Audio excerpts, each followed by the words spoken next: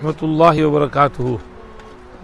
Respected elders, brothers, friends, I'm sending this video down to you for a request and appeal to help us with regards to this little bit of nursery project over here at HLCE.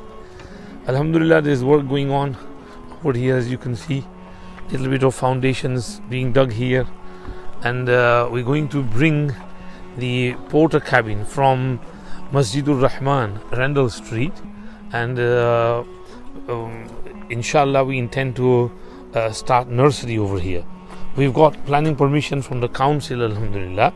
Now uh, we have to uh, take permission from the education department.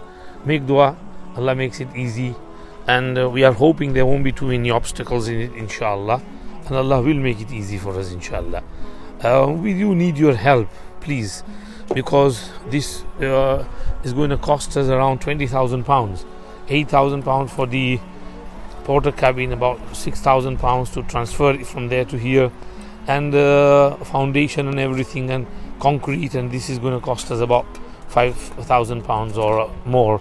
So, and then electric work and uh, gas, and this is just a rough estimate of how much is going to cost us. We'll be very, very, very grateful if you can help us. Inshallah, we'll give you the uh, bank details uh, uh, at the end of this video.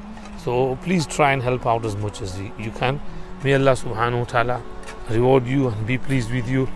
As our Prophet sallallahu alaihi wasallam has said, والذي نفسي بيده ما نقص مال عبد من صدقة يعني صدقة never reduces a person's wealth the more sadaqah you give, the more it increases. So inshallah, if you spend in the path of Allah, Allah will increase your wealth. Jazakumullahu khairul jaza wa ahsan al May Allah reward you, may Allah be pleased with you, may Allah accept all your good deeds, may Allah accept all your endeavors, all your charity, whatever you spend, wherever you spend, however you spend. May Allah reward you, may Allah be pleased with you, and may Allah um, take care of our progeny, our children young and old. May Allah protect us all from all types of fitnas, and may Allah be pleased with us. Jazakumullahu khair al jaza wa ahsan al ata. Assalamu alaikum wa rahmatullahi wa barakatuh. Please help us as much as you can and keep us in your du'as. Assalamu alaikum.